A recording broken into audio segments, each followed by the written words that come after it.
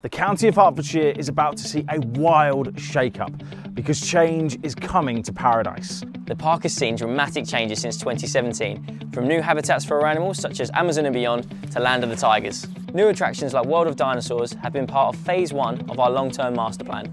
Paradise Wildlife Park, based in Broxbourne, is proud to announce that we will be rebranding and taking our pride of place in the county as Hertfordshire Zoo. As trusted experts and advocates for conservation, we want to share the wonder of wildlife with children and adults alike. Hertfordshire Zoo will officially launch on the park's 40th anniversary, which will be April 1st, 2024, and see the start of a new, exciting chapter in the zoo's history.